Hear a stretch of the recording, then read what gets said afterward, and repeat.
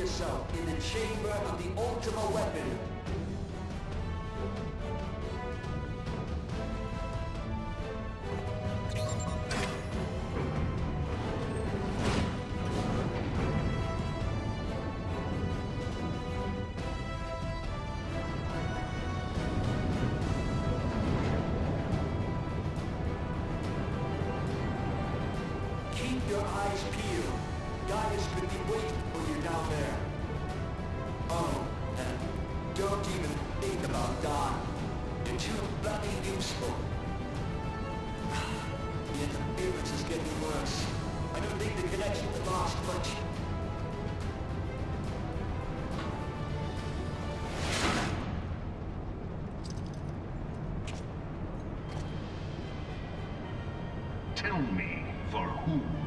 Fight?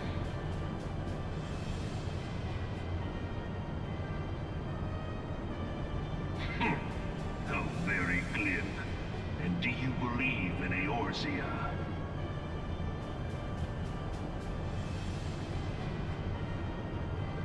Eorzea's unity is forged of falsehoods. Its city-states are built on deceit, and its faith is an instrument of deception. It is not but a cobweb of lies. To believe in Eorzea is to believe in nothing. In Eorzea, the beast tribes often summon gods to fight in their stead, though your comrades only rarely respond in kind. Which is strange, is it not? Are the Twelve otherwise engaged? I was given to understand they were your protectors. If you truly believe them your guardians, why do you not repeat the trick that served you so well in Carteneau and call them down? They will answer, so long as you lavish them with crystals and gorge them on ether. Your gods are no different from those of the beasts. Icons, every one. Except for this. And you will see how Eorzea's fate is bleeding the land dry. Nor is this unknown to your masters, which prompts the question, why do they cling to these false deities? What drives even men of learning, even the great Louisoix, to grovel at their feet? Answer? Your masters lack the strength to do otherwise. For the world of man to mean anything, man must own the world. To this end, he hath fought ever to raise himself through conflict, to grow rich through conquest.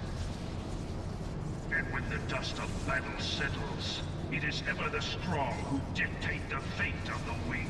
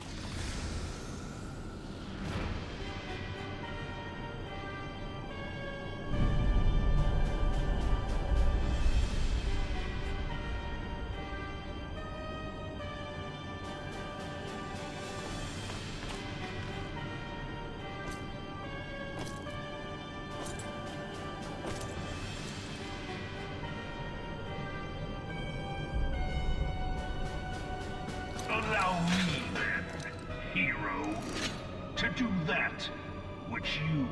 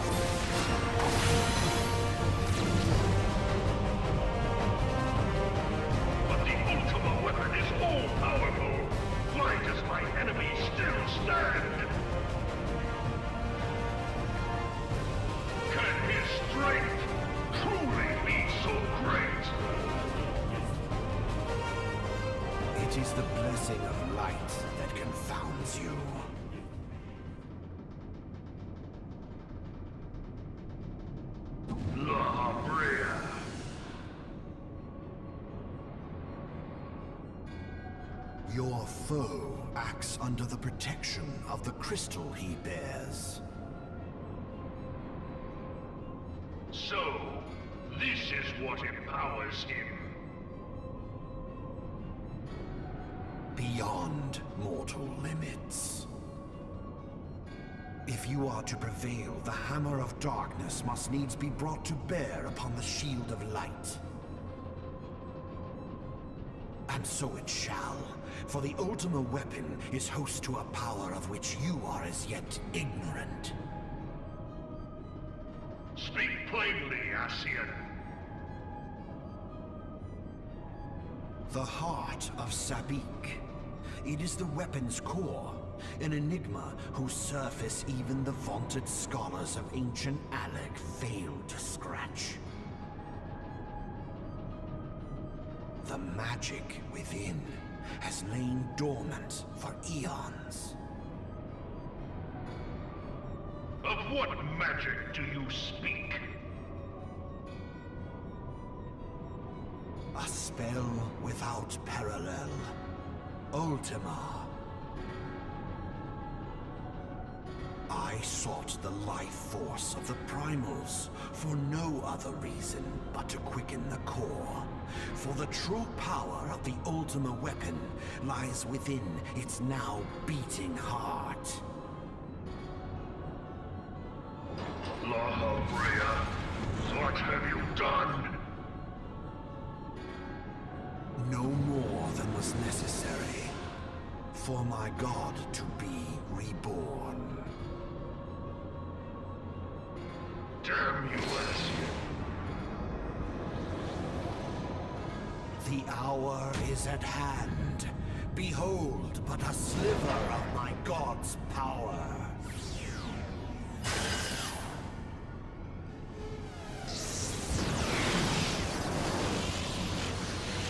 From the deepest pit of the seven hells to the very pinnacle of the heavens, the world shall tremble. Unleash Ultima!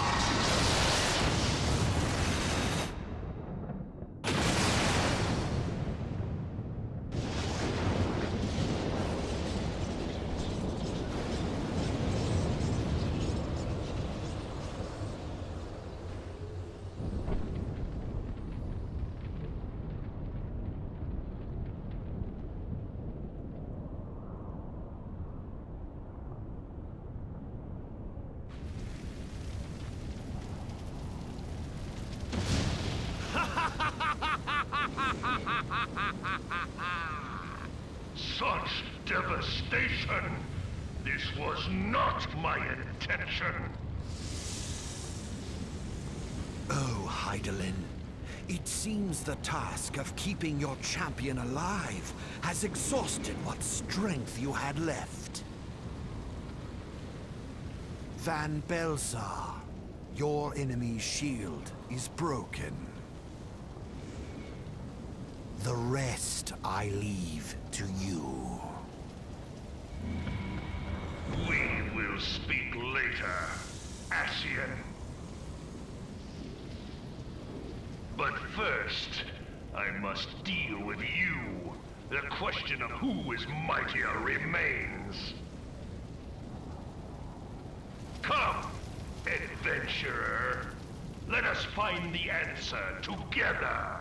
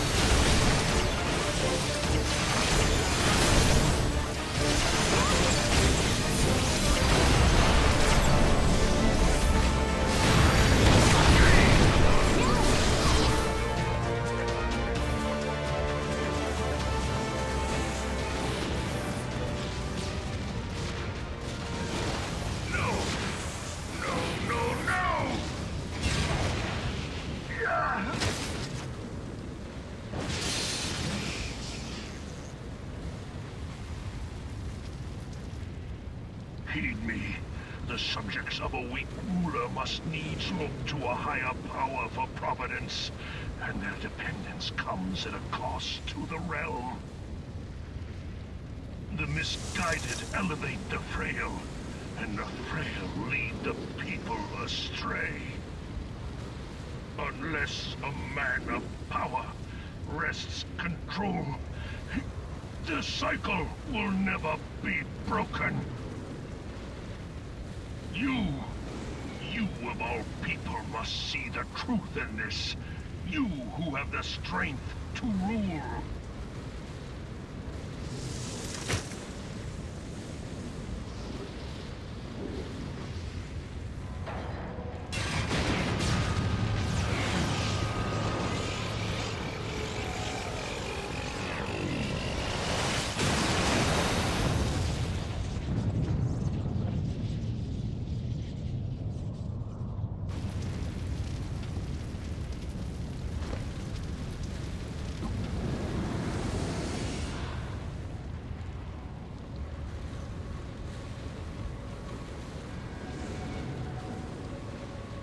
Pathetic.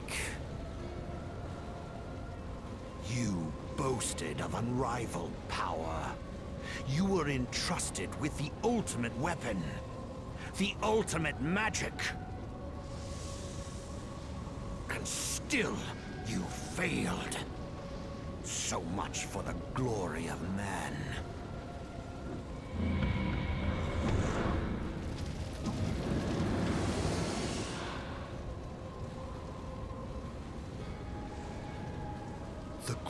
Growing imbalance afflicting the planet must be redressed. If it is permitted to worsen, the very laws of existence, both etheric and physical, will be warped beyond all recognition. Know you the root of this corruption? Hydaelyn. Like a parasite, she must be burned out if the planet is to recover. And not but the return of the one true god will ensure her complete excision. Yet, to pave the way for the Master's return, a chaotic confluence of untold proportions must needs be brought about. And that will necessitate the presence of the Primals. Needless to say, both you and your Scion accomplices cannot be suffered to interfere in this endeavor. You will not leave this place alive.